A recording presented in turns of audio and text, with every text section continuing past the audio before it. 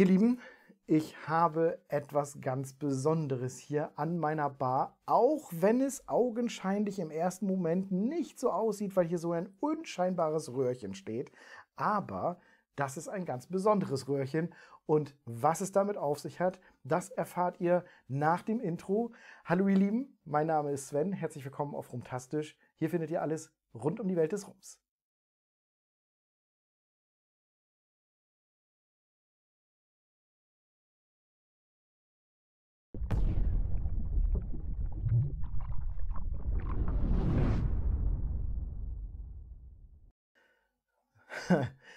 Ihr Lieben, gerade funktionierte das Logo noch nicht, aber dann habe ich es doch noch zum Drehen bekommen quasi. Sowas erlebt ihr auf jeden Fall, wenn ihr live bei mir zuschaut. Solche und andere Versprecher, die erfahrt ihr, wenn ihr live mir folgt. Schaut also auf romtastisch.de vorbei und gebt mal den Slash live ein oder sucht auf der Homepage, denn ihr könnt in der Live-Rubrik eine Google, einen Google-Kalender finden, der euch sagt, wann ich das nächste Mal wieder live gehe. Und äh, dann sind wir hier alle zusammen. Normalerweise ist dann auch ein Chat noch an, den habe ich nur jetzt ausgeblendet. Und dann können wir uns gegenseitig hier noch unterhalten. Das äh, ist immer ganz spannend. So viel einleitend zu diesem Kanal. Vergesst nicht, den Kanal zu abonnieren. Das macht mir auch Freude, wenn der Kanal wächst. Und äh, nun aber hier zu diesem kleinen Schmuckstück. Und äh, wenn ich sage klein, dann ist er halt wirklich klein, denn ich habe hier nur so ein kleines Röhrchen, aber nur das zu wirklich zu sagen und so zu meinen, wäre sehr undankbar, denn das ist richtig geiler Stoff hier. Der liebe Ronald von Rumkultur, der hat mir dieses Fläschchen hier abgefüllt und es handelt sich dabei um den Don Papa 10 Jahre. Das ist ein Rum, der auf den Philippinen hergestellt wurde. Und wer von euch den Don Papa schon mal getrunken hat, der weiß oder erfährt es jetzt. Es geht dabei um die Ehr Ehrbietung äh, an den Don Papa. Der Don Papa ist nämlich ein, äh, also er war in der Revolution in, auf den Philippinen sehr beteiligt. Er wuchs heran quasi vom Zuckerrohrmitarbeiter, Zuckerrohrfeldarbeiter zu einer führenden Kraft in der Revolution äh, auf den Philippinen. Und äh, das oder beziehungsweise ihm zu Ehren wird jede Flasche mit seinem Antlitz verziert. Und wenn ihr euch die Flasche mal genau anschaut, dann seht ihr, dass die oftmals, nicht auf jeder Flasche glaube ich, aber oftmals aus Naturprodukten, die ihr auf den Philippinen findet, ähm, zusammengebaut wurde und das in Wirklichkeit nur so ein Mosaik ist und ihr den Eindruck habt, ein Gesicht zu sehen. Und in Wirklichkeit setzt es sich aus diesen vielen Komponenten zusammen. Auch sehr cool die Idee übrigens. Hier haben wir einen Zehnjährigen oder den Zehnjährigen, der besonders gelagert wurde. Er hat 43% Volumen, kommt ebenfalls von den Philippinen. Auf der Insel Negros ist er hergestellt worden. Und äh, der, ihr Lieben, ist was richtig Feines. Und ich bin sehr gespannt darauf. Er ist das will ich nochmal eben hier nachschauen, im Column Still. Das war noch die Frage, im Column Still hergestellt worden. Also schon auf eine recht schnelle Weise sozusagen. Es gibt ganz schnell erklärt den Potstill. Das sind diese, diese runden, bauchigen, äh, oftmals Kupferblasen, die ihr kennt, mit so einem Docht nach oben. Und dann gibt es den Column Still. Der Column Still kann deutlich schneller produzieren und bietet leider dann nicht so ein mega kräftiges Aroma. Aber das kann man natürlich noch hinbekommen, wenn man das Ganze dann anschließend gut lagert und lange lagert und zum Beispiel einen Zehnjährigen macht. Und äh, da bin ich jetzt auf jeden Fall gespannt.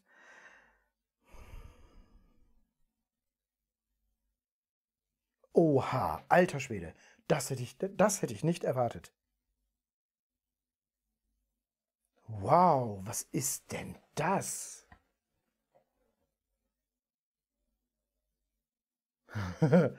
also, diese dunkle Farbe hier, ja. Oh, da werde ich euch, genau, das muss ich euch noch zeigen. Äh, ich habe euch noch kein Bild davon gezeigt. Ich habe doch extra hier ein Video. So, hier hat nämlich der äh, Ronald von Rumkultur, vielen lieben Dank auf jeden Fall nochmal, Roland, äh, Ronald, ähm, äh, hat von äh, hier seiner großen Flasche mir die kleine Probe abgefüllt. Hier ist quasi das Beweisvideo dazu, obwohl ich es ehrlich gesagt nie in Frage gestellt habe, ob es wirklich wahr ist. Aber schön quasi, dass wir so sehen können, wie er es gemacht hat. Und äh, dann habe ich hier nochmal ein Foto von ihm bekommen, wie die beiden nebeneinander stehen. Ähm, Amphinole nenne ich sie mal und Originalflasche. Hier könnt ihr also einmal die Originalflasche sehen. Und äh, jetzt, wo ich hier das erste Mal dran rieche, ist das, das ist unheimlich, äh, das ist unheimlich heftig. Das, das Volumen ist unheimlich heftig. Irgendwie ist das so, so eine Mischung aus, aus, ähm, ich komme mal wieder zurück hier, so eine, so eine Mischung. Das erste, was ich rieche, ist starke Würze kräftiges Holz, ganz kräftige Noten, Vanille, aber irgendwie so ein Boom-Effekt dabei. Das ist so richtig würzig, richtig kraftvoll. Kaffee, eventuell dunkle Schokolade und es ist aber auch was ganz Frisches dabei. Also da sind so, ich habe zum Beispiel Pfirsich, Pfirsich im, im Kopf oder vielleicht sogar so eine, so eine alte Orange quasi, so, ein, so eine Zitrusfrucht, die aber schon sehr durchgegoren ist.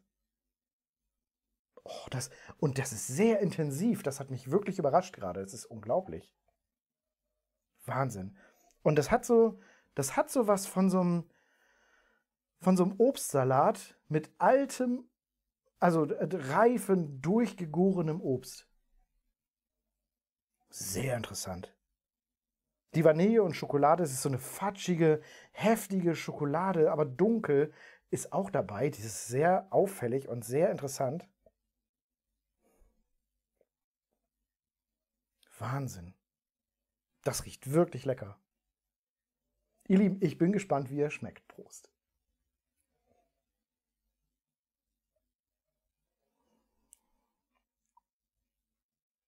Mmh. Mmh.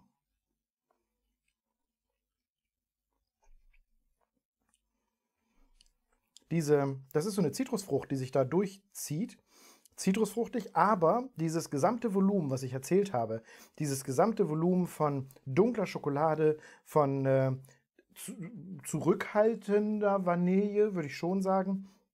Und äh, ja, dieser, dieser, dieser kräftigen Fruchtnote, die ist genauso auch im Geschmack mit drin, bin, äh, mit drin. Also es ist sehr gut eingebunden. Der Geruch und der Geschmack, die, die passen tatsächlich sehr gut zusammen. Er ist süß, aber kräftig. Er hat 43 Prozent und ist damit auch, er hat doch 43 Prozent, ne? Genau, er hat 23 Prozent und ist das, das schmeckt man auch auf jeden Fall. Deswegen habe ich es gleich so rausgehauen und äh, habe gedacht, ja, ja, wird schon sein. Ähm, 43 Prozent er hat so eine richtige Power. Der zwiebelt so ein bisschen im Mund noch anschließend. Der macht richtig Spaß.